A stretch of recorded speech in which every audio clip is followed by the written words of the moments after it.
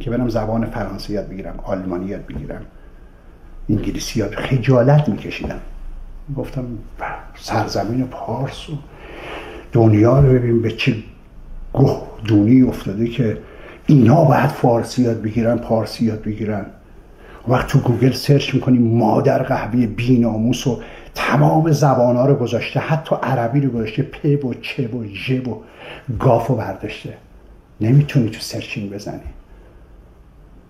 پس ما قراره رژیم رو عوض کنیم. خار مادر خاندان رضا پهلوی رو سلاطین دروغگو شاهزادگان دروغگو رو سرویس کنیم تا پ و چه و ژ و گاف رو برگردونیم.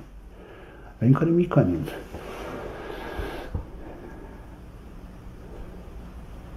ما اومدیم میلیاردها دلار خرج می‌کنیم تا خار مادر کسی که در گوگل پ و چه و و گاف و برداشته سرویس کنیم من برای اینجا هم من اومدم اسم ایران بشاشم توش سرزمین قدرتمند پارس رو بنا بذارم چون از نبادگان کوروشم طبق اسنادی که خود جمهوری اسلامی هم تایید می‌کنه.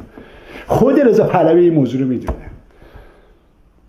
پس من اومدم چیکار کنم؟ پ و ژ و گاف و چه رو برگردونم به جهان. تا بفهمونم که نشخار افکار سرزمینیان سرزمینیان پارس بوده است که تو خوردی بیم به درست کردی. و من بیام انگلیسی یاد بگیرم. روزگاری شده که مشت بیناموس.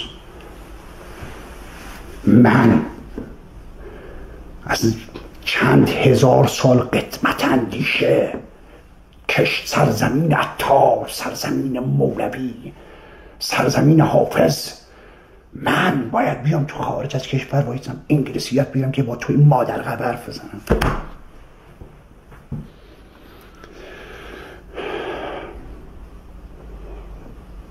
چنج شده روزگار. چنجت می‌کنم. سرزمین پارس ابهتش باز خواهد گشت.